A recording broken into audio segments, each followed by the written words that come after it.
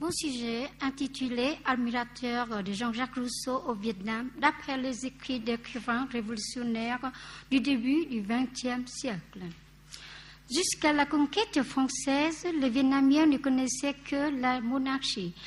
Les colonialismes français comptaient dominer le Vietnam avec l'appui de ce régime. Le peuple souffrait donc de deux sortes d'exploitation. Dès le début de la euh, colonisation française, les révoltes des mandarins monarchistes eurent lieu. Euh, le mouvement dit Cần c'est-à-dire servir le roi. Mais elles furent toutes réprimées. Malgré, malgré, ces échecs, ces révoltes ont exercé une influence sur les nouvelles générations, celles des lettrés du début du XXe siècle. Au Vietnam, au début du XXe siècle, l'influence des idées du siècle des Lumières en général et de Jean-Jacques Rousseau en particulier, se manifestait principalement à travers trois mouvements. Le, premier, on dit le mouvement Zuiten, mouvement de la euh, modernisation du Vietnam fondé par Phan Chu Trinh. Au Vietnam, avec euh, les nouveaux livres, Phan Chu Trinh a été le premier à, avoir su assimiler les nouvelles idées européennes. Avec ses amis, Phan Chu Trinh, euh, Trinh avec euh, ses amis Trần Quý Cap et Huỳnh Thúc Kháng, trois lauréats des concours de lettres, sud, dans le sud plusieurs fois pour connaître la situation du peuple. Au début euh, de l'année 1906, il est parti en Chine, puis au Japon, où il a rencontré Fan Boichou et a étudié le mouvement de réforme. réforme. Leur objectif était la modernisation tant dans le domaine politique, économique, euh, culturel que social. Fan Chuching prétendait prendre appui sur l'élite idéologique française pour lutter ouvertement contre le régime colonialisme. La liberté et la démocratie, démocratie étaient les deux idées qui l'attiraient le plus, ainsi que ses amis. L'idée de la liberté l'obsédait tellement qu'il a, qu'il a écrit dans la situation actuelle du problème où il rêva qu'un ange lui faisait signe de l'œil et de la main en le regardant, c'est la liberté. L'admiration pour l'Europe était également exprimée dans son pseudonyme Hima, c'est-à-dire Mazini. Quant à la démocratie, Rousseau croyait qu'il n'a jamais existé de véritable démocratie et il n'en existera jamais. C'était aussi la passion de Fan Chu Le mouvement de la modernisation 1906-1908 s'est ainsi établi en Annam, c'est-à-dire au centre du pays, ayant pour but de réclamer la démocratie et la modernisation avec trois slogans. D'abord, le premier, réveil de la conscience nationale pour former l'union du peuple contre l'administration coloniale. La monarchie et le mandarinat devraient être enterrés en faveur d'une république démocratique moderne. Deuxième slogan, abolition du système d'éducation vietnamien avec les examens considérés comme routiniers et bornés en, encourageant les Vietnamiens à apprendre le français en s'en servant pour la recherche du progrès, abolir les mœurs arriérées et fastueuses. Phan Chu Trinh s'intéressait aussi aux sciences. Troisième euh, slogan, encouragement pour chacun dans l'apprentissage un métier pour développer le commerce et la fabrication des marchandises, etc. L'idée de la démocratie bourgeoise se manifestait dans plusieurs écrits et expressions orales, tant au Vietnam qu'en France. Les cours au Dongking Nghĩa Thục, c'est une école moderne patriotique pour les jeunes femmes, et jeunes hommes vietnamiens créée par Phan Chu Trinh. L'école demandait aux disciples de renoncer à leur tradition élitiste. Ils offraient, ils aux paysans une éducation moderne. Fan a cherché à remplacer les philosophies confuciennes qui avaient traditionnellement régi le Vietnam. Son poème La chanson du réveil de l'esprit national, qui, qui comprend deux parties créées lors de deux périodes dans des endroits différents, en 1907 au Vietnam et en 1922 à Marseille, était l'expression de son idée son idée de modernisation à tendance démocratique, bourgeoise la plus claire et énergique. Contre les faiblesses de la situation culturelle, sociale de la nation, Fan Chuching a écrit 12 fragments correspondant à 12 points afin de comparer la conscience et connaissance de notre peuple avec celle des Européens il s'est avéré qu'il s'agissait de problèmes bien concrets pour la démocratie vietnamienne. Avoir le courage de se, sacrifier pour, pour, une juste cause, apprendre un métier, prendre plus de risques, se solidariser, faire des partenariats dans les affaires, etc. Dans la chanson du réveil de l'esprit national 2, qui comprend cinq fragments, Phan Chu Trinh accuse dans le mécanisme corrompu de l'autorité féodale vietnamienne que l'oppression brutale du colonialisme français envers le peuple et les révolutionnaires vietnamiens. Il a ainsi fait appel à une coopération réelle entre la France et le Vietnam. Apprendre, c'est l'idée dominante de Fan Chu Trinh dans l'œuvre de modernisation du pays. Cette idée, saisie par une impulsion du cœur, a été décrite dans l'article La situation actuelle du problème en 1933. Son slogan, euh, euh, son, slogan, bien connu, mieux vaut apprendre. Anéantisser l'éducation confucienne en caractère chinois et préconisait que les, euh, les, intellectuels devraient apprendre le français afin de découvrir les civilisations européennes, à comprendre les droits civiques et les responsabilités du, citoyen, moderniser le pays, actionner pour le peuple et la partie, etc. Pour Rousseau, les droits veulent être absolus etc. Leur intérêt personnel est premièrement que les peuples soient faibles, misérables et qu'ils ne puissent jamais leur résister. Fan Chuching trouvait ce point bien à son goût, rejoignant Rousseau en démontrant l'exploitation cruelle opérée par les mandarins et en particulier par les rois. Les en 1906, Fan Chuching écrivit une lettre au gouverneur Paul Lebeau demandant aux Français d'aider au développement du droit légal moderne, à l'établissement de l'économie vietnamienne ainsi qu'à son industrialisation en enlevant le reste du système mandarinal. Le démasquage de la société féodale pourrie était l'idée suivie de Fan Chuching. Les dirigeants indignes des dynasties successives furent satiriquement accusés. L'hypocrisie même du roi Khai a été démasquée à son arrivée à la foire de Marseille en 1922.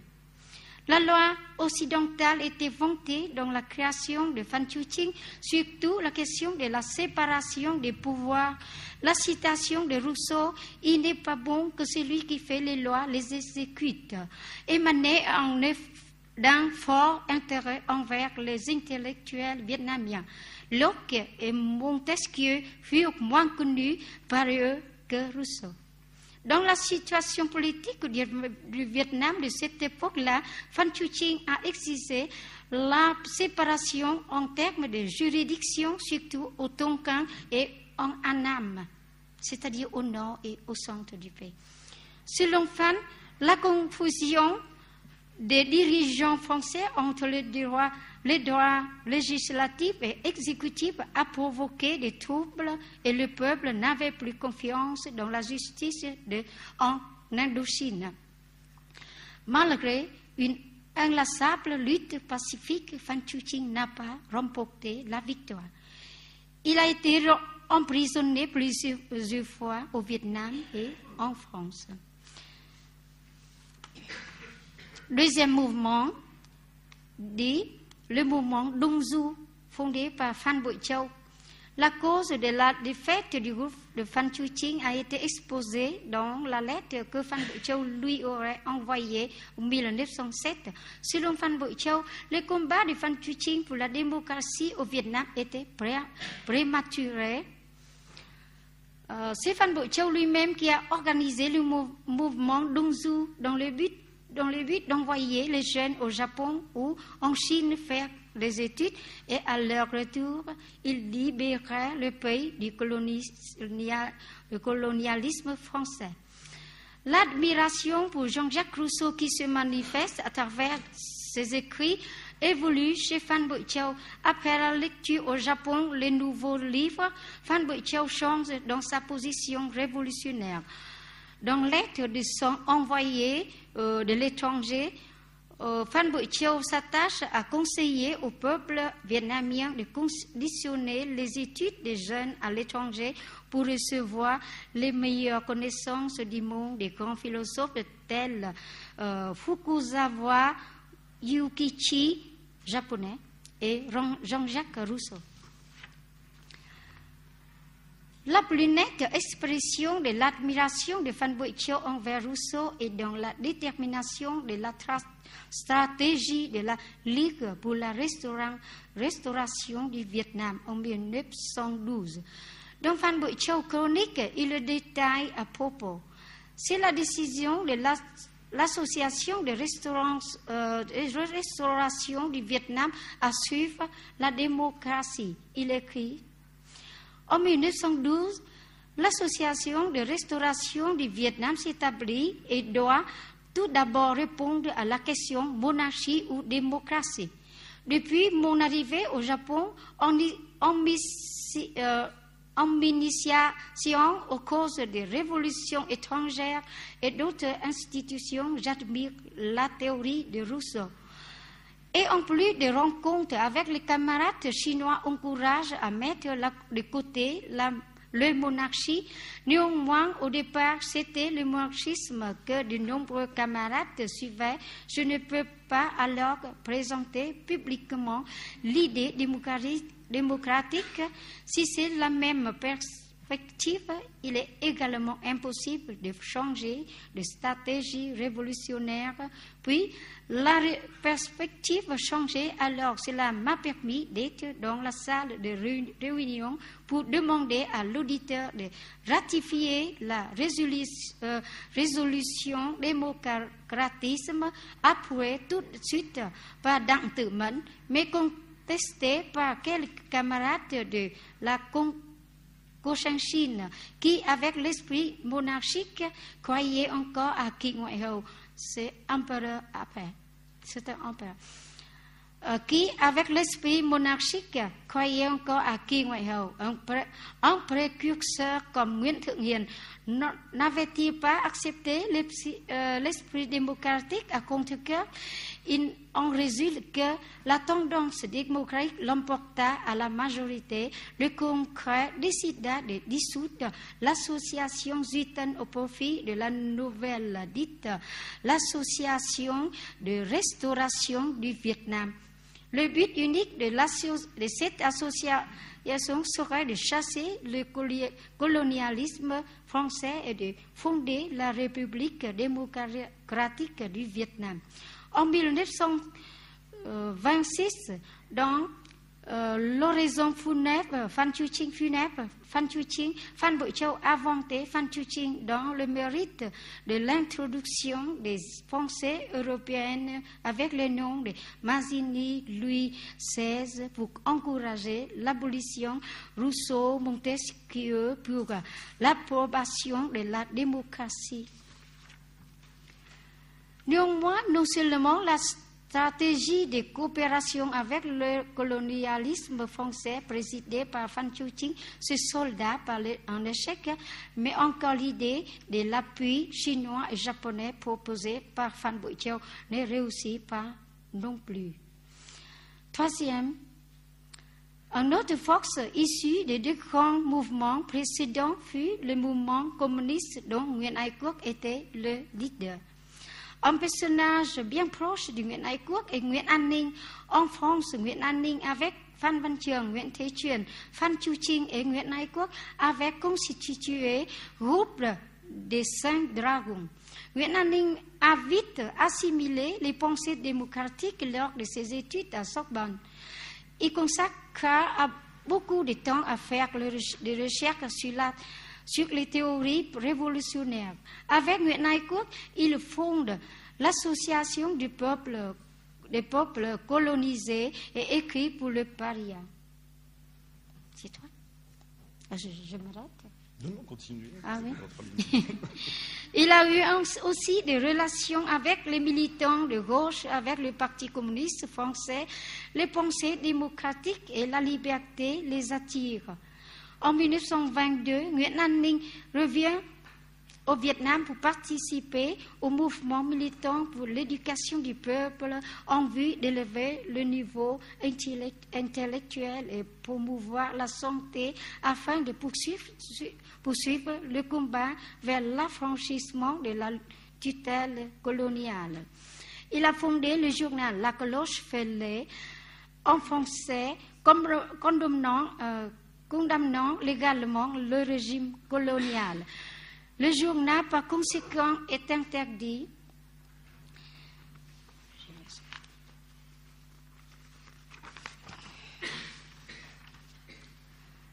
Ainsi, la démocratie se situe, euh, se situe, toujours dans le but de la lutte révolutionnaire. C'est Nguyen c'est Ho Chi Minh maintenant, qui a par excellence a associé des formes de lutte au cours à la libération nationale. Avec Nguyen An il a fondé, euh, il a écrit pour euh, le paria en rencontrant des, représentants communistes français, russes, son, son itinéraire révolutionnaire sera différent de Fan Chu-ching et Fan Boi-chau. La situation internationale à la fin de la Première Guerre mondiale a ouvert de nouveaux horizons.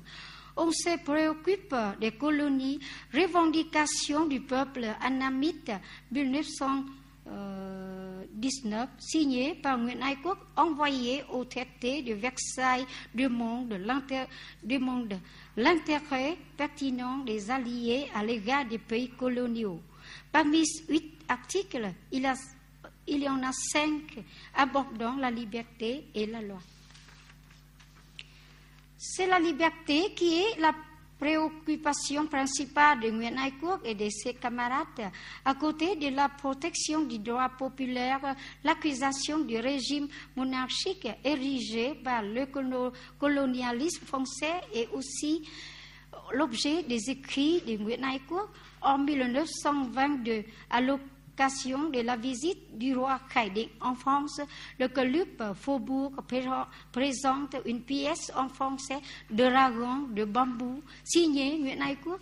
L'auteur ironise et critique un roi asiatique fantoche qui ressemble à un dragon dont le matériel n'est qu'une racine de bambou.